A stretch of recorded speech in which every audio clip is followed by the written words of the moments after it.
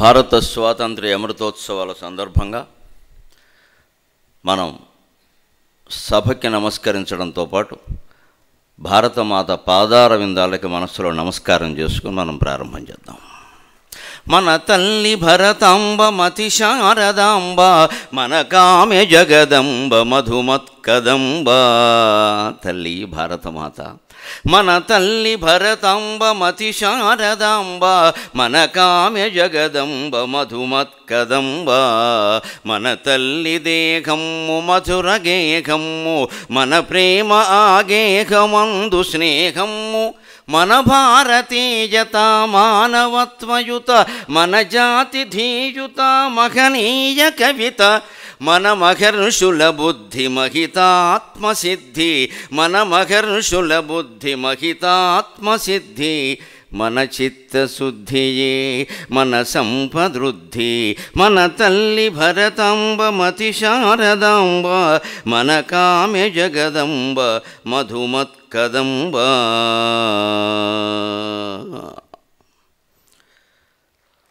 ఒక సినిమా పాటల్ని పుస్తకంగా వేయాల్సిన అవసరం ఏమిటి?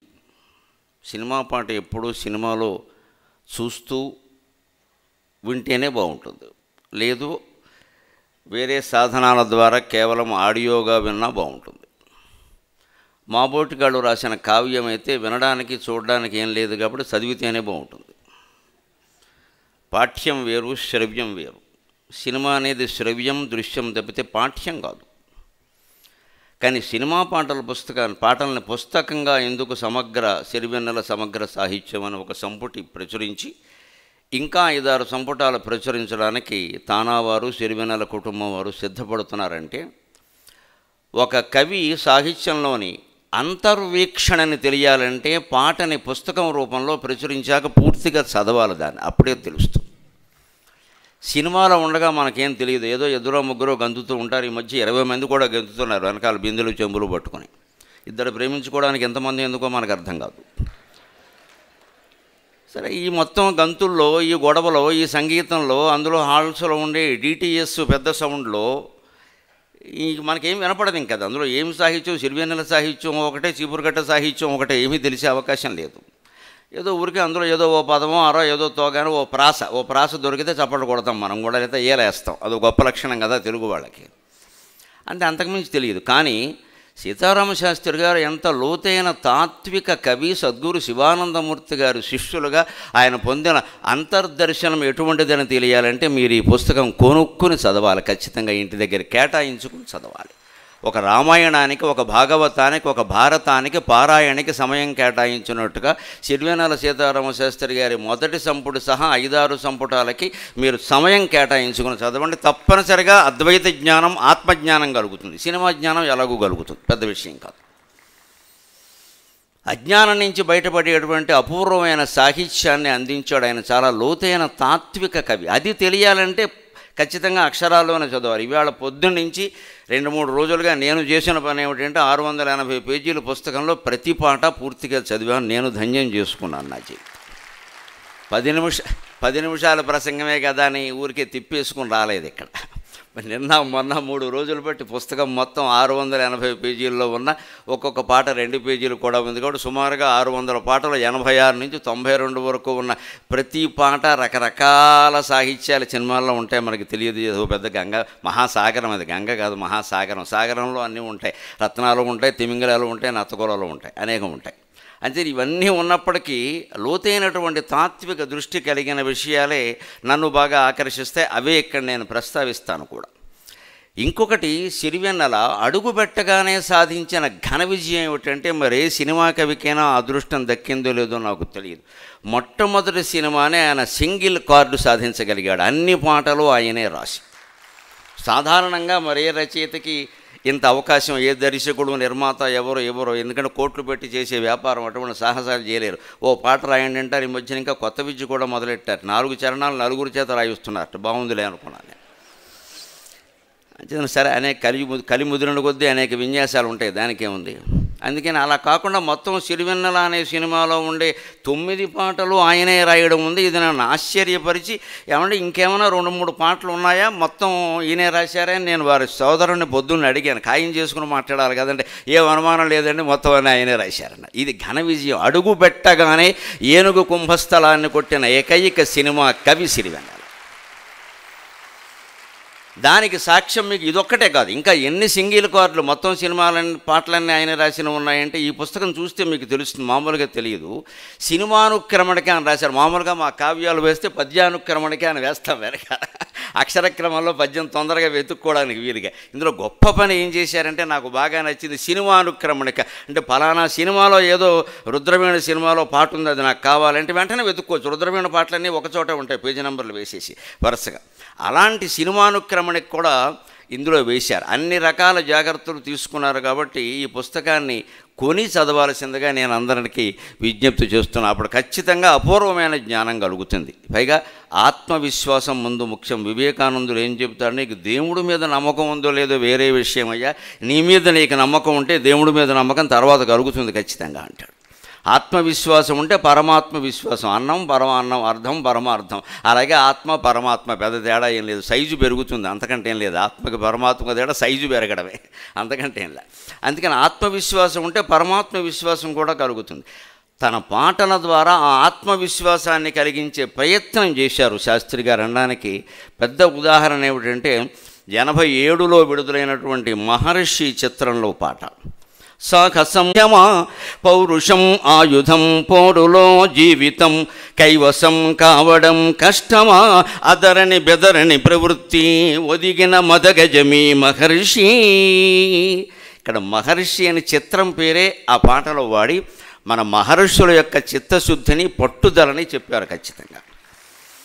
ఎవడైనా జీవితంలో నిరాశ నిస్పృహ కలిగిన వెంటనే సీలింగ్ ఫేనాయ విద్మకే చున్ని కంఠాయ ధీమకే అని దానికి చూడకుండా ఈ పాట చదివితే ఖచ్చితంగా ఆత్మహత్య మానేసి ఇంకో అరవై ఏళ్ళు బతుకుతాడు కూడా అనుమానం లేదు.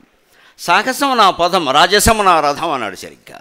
ఊరికే సాహసం కోసం పదం సా సా రా రా ఇలా వాటా వాడ వాడాల్సిన కర్మ మామూలు వాళ్ళకు ఉంటుంది. సీతారామ శాస్త్రి గారికి ఉండదు. అవసరమేం లేదు అది. అయినా సాహిత్యంలో నిలబడి మహాకావ్యం రాసుంటే అలసాని పెద్దల మనుచరిత్ర లాంటిది మరొకటి దక్కుండేది. నాబోటిగాడు అది ఆశిస్తాడు ఖచ్చితంగా. అంతటి ప్రతిభ కలిగిన వాడు కాబట్టి ఆ యతి కోసమో ప్రాస కోసమో వాడాల్సిన కర్మ ఆయనకేమీ లేదు.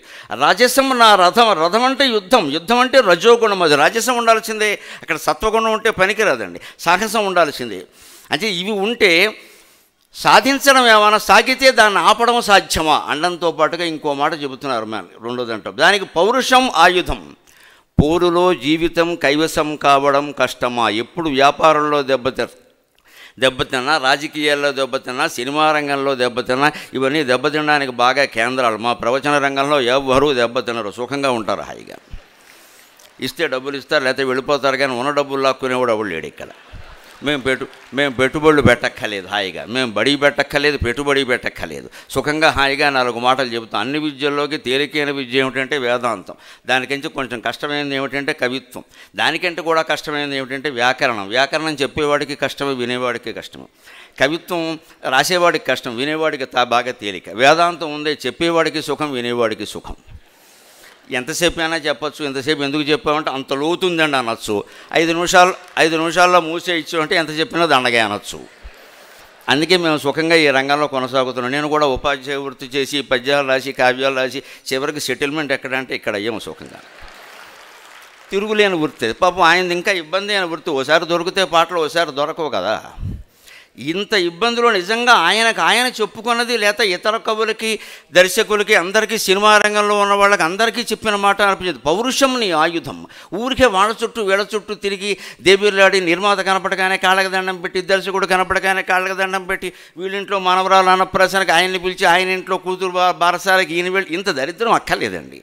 ప్రతిభకు ఒకడు లిఫ్ట్ ఇవ్వాల్సిన అవసరం లేదండి. ప్రతిభ సూర్యోదయం.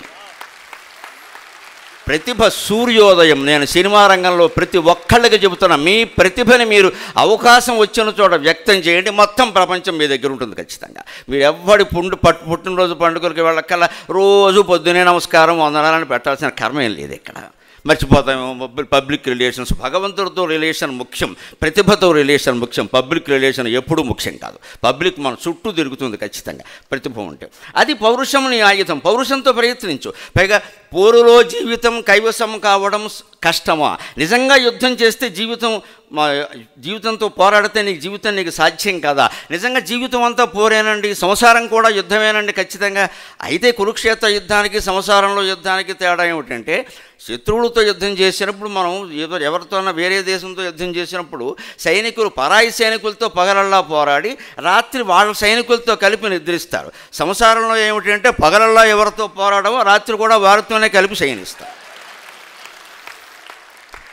అంతకంటే కురుక్షేత్ర యుద్ధం కంటే ఇదే చాలా కష్టం ఇది. ఎందుకంటే ఎవరితో పోరాడమో వాళ్ళ దగ్గర కూర్చోవాలి వాళ్ళతోనే మాట్లాడాలి వాళ్ళు పెట్టిందే తినాలి వాళ్ళు ఇచ్చిన డబ్బులే తీసుకోవాలి వాళ్ళు నానా పోరాటాలు చేయాలి. చివరికి నమస్కారం అని పతిదేవుడు కాళ్ళు కడగాలి భర్త గారి కాళ్ళు మీడియా వాళ్ళు లేకుండా కడగాలి. మొత్తం మీద కడగడం ఖాయమే. ఈ కాళ్ళు బహిరంగంగా కడుగుతారు భర్త కాళ్ళు కదా అని. భార్య కాళ్ళు మీడియా వాళ్ళు లేకుండా కడుగుతాం. అంతకంటే ఉంది ఏదైనా ఒకటే తప్ప. ఇది పోరే ఇది. ఇది పైగా ఎవరితో శత్రుత్వం వారితోనే చేయను. ఎంత కష్టమండి ఇది? అంటే సంసారం గలిస్తే అన్నీ కష్టం అన్నీ తేలిగ్గా అవుతాయి. సంగీతం ఆలోచించకుండానే అర్థం అవుతుంది. సాహిత్యం ఆలోచిస్తే అర్థం అవుతుంది. ఎంత ఆలోచించినా అర్థం కాదే సంసారం ఒక్కటే. అటువంటి దాన్ని జయించాలంటే పౌరుషం ఆయుధం కావాలి. పోరులో నీ జీవితం కైవసం కావడం సాధ్యం కష్టమేం కాదు. ఎలా ఉండాలి? అదరని బెదరని ప్రవృత్తి ఉండాలి. అది మద ఒదిగిన మదగజమి మహర్షి అన్నాడు. ఖచ్చితంగా మహర్షి తుల్యమైన సాహిత్యం ఉంది కాబట్టి ఆయన అలా అనగలిగాడు ఖచ్చితంగా. ఒక మదగజం ఏదో చిన్న పీట మీద ఒదిగినట్టుగా జీవితంలో ఒదగాలయా ఇంద్రియ నిగ్రహం కలిగి ఉండాలయా అప్పుడే ఇది సాధ్యం అవుతుంది అన్నాడు. ఇంతే కాకుండా ఒక్క మాట నేను ప్రత్యేకంగా చెప్పదలుచుకున్నది. రుద్రవీణ సినిమాలో ఆయన రాసిన పాట ఒంటరిగా ఉండి బాధపడుతున్న వాళ్ళందరినీ నిద్ర పట్టి లేపుతుంది ఎందుకు ఊరికే బాధపడతావు అలాగే అంత బాధ ఉంటే ఎవరితో నా పంచుకోరాదా? ఒంటరిగా దిగులు బరువు మోయకు నేస్తం. ఒంటరిగా దిగులు బరువు మోయకునేస్తాం మౌనం చూపిస్తుందా సమస్యలకు మార్గం. కష్టం కష్టం వస్తేనే కదా గుండె బలం తెలిసేది. కష్టం వస్తేనే కదా గుండె బలం తెలిసేది. దుఃఖానికి తల వంచితే తెలివికి విలువేది అన్నాడండి సీతారామశాస్త్రి ఎంత గొప్పది. ఒక కష్టం వచ్చింది అంటే మనం ఎలా భావించాలి అంటే ఆ భగవంతుడు మనని పరీక్షిస్తున్నాడు అనమాట బాగా ఒక్కబోస్తున్నప్పుడే తర్వాత వాన వస్తుందండి. వాన వచ్చే ముందు బాగా ఒక్కబోస్తుంది. శరీరం మీద వేసిన సెగ్గడ్డ ఉందే కురుపు అది పగిలిపోయే ముందు చాలా బాధపడుతుందండి ఖచ్చితంగా. బాధపడుతుంది అంటే పగిలిపోతుంది అనమాట ఒక్కబోస్తుంది అంటే వాన వస్తుంది అనమాట. పొయ్యిలో పొగ బాగా వస్తుంది అంటే ఉజ్వలంగా మండుతుంది అనమాట నీకు కష్టం వచ్చింది అంటే భగవంతుడు నేను అనుగ్రహించడానికి సిద్ధంగా ఉన్నాడు అనమాట ఖచ్చితంగా. ఆ కష్టం ఎందుకంటే భగవంతుడు పెట్టే పరిస్థితి అది ఎదుర్కొంటే రారా నా ఒళ్ళో కూర్చోరా అని అమ్మవారు పిలుస్తుందండి మనని అటువంటి భక్తి కలిగి ఉండాలి. అందుకని మదగజమి ప్రవృత్తిని చూసి ఒంటరిగా ఊరికే బాధపడకు మౌనంగా కూర్చుని ఏడుస్తూ ఉంటే నేను ఇంతే నేను ఇంతే అనుకుంటే ఇబ్బంది కలిసి వచ్చేది ఏమీ లేదండి అని చెబుతూ ఆయన చాలా పౌరుషంగా దీన్ని మీరు తీసుకోండి స్వీకరించండి ఆచరించండి అని చెప్పాడు నలుగురితో పంచుకోండి. దుఃఖం వచ్చినప్పుడు తల వంచకు తల వంచకుండా ఎదిరించి ఇంకో సరదా విషయం చెప్పి నేను సెలవు తీసుకుంటాను అది చెప్పడానికి అవకాశం నాకు ప్రవచనాల్లో రాదు ఇక్కడే వస్తుంది. బలపం పట్టి భామ ఒళ్ళో ఈ నేర్చుకుంటా. ఎంత సరదా అయిన పాట అండి. ప్రవచనంలో చెబుతూ ఊరుకోరు అందుకని ఇక్కడ చెప్పిస్తున్నాను సరదాగా. అందులో ఆయన చేసిన ఒక గొప్ప ప్రయోగం నాకు బుర్ర తిరిగేలా చేసిందండి. మధ్యాహ్నం చూసి ఓబి ఏం కవిరా అనుకున్నాను. అమహ అంటా అమ్మడు అని కమహ ఉండేది ఎప్పుడు అన్నాడు ఆయన. అమ్మహ తర్వాత కమ్మహ ఏం పడిందని చూశాను నేను పుస్తకంలో. కమ్మహ అని మీరు మామూలుగా మాట రాస్తే కకారం రాసి మకారద్వయ అకారాలు రాసి మా కింద మావత్తు రాసి హా అని రాయాలి కమ్మహ. లేదా అర్థం కాదు కదా ఎందుకంటే మనం సుఖంగా అనడానికి కొంతమంది సుహంగా అంటారు. కమ్మగా అనడానికి కమ్మహ అంటారు ఆ పలుకుబడే. కానీ ఆయన అలా రాస్తే ఇది పాట కాదు. అం అహ అన్నారు కాబట్టి అక్షరాల్లో కమ్ అహా. అంటే అమ్ అహా వరకు అచ్చులన్నీ అయిపోయాక కాగుణంతం నేర్పుతారు. కాగుణంతంలో చివరొచ్చే మాటలు ఏమిటంటే కమ్ కహ అని వస్తాయి. పూర్ణానుస్వరంతో కమ్ విసర్గలతో కహ వస్తుంది ఖచ్చితంగా. అందుకని కమ్ అహా అని రాసి కమ్మహా అనే పదం ధ్వనించేలా చేసిన ఏకైక కవి సిరివెన్నెల ఏకైక కవి సిరివెన్నెల. ఒక్క మాట చెప్పి అర నిమిషంలో సెలవు తీసుకుంటా. చాలా ఉత్తేజం కలిగిస్తుంది. ఒక ప్రవచనకర్త ఆధ్యాత్మిక సందేశంతో ముగించాలి బలపం పట్టుకుని భామ ముగిస్తే బాగుండదు. మళ్ళీ రేపు మీడియాలో రాస్తారు నేను ఇది కూడా మొదలెట్టాడు. జై జై గణేశ జై జై గణేశ అని కూలీ నెంబర్ వన్ సినిమాలో రాశారు ఆయన పాట. తొంభై ఒకటి ప్రాంతాల్లో. అందులో గణేశుడికి వాహనం ఎలకైతే చిట్టెలుకోవు కదా ఇంత భారం ఎలా భరిస్తున్నామంటే దానికి కారణం చెప్పాడండి. ముజ్జగములు తిప్పిందిరా ముచ్చెమటలు కక్కిందిరా అందువల్ల ఈ వరం లభించిందిరా అన్నాడు ఆయన. వినాయకుడిని ముజ్జగాలు తిప్పింది ముచ్చెమటలు కక్కింది. అంటే నువ్వు కష్టపడి సంపాదిస్తే సాధించలేనిది లేదు.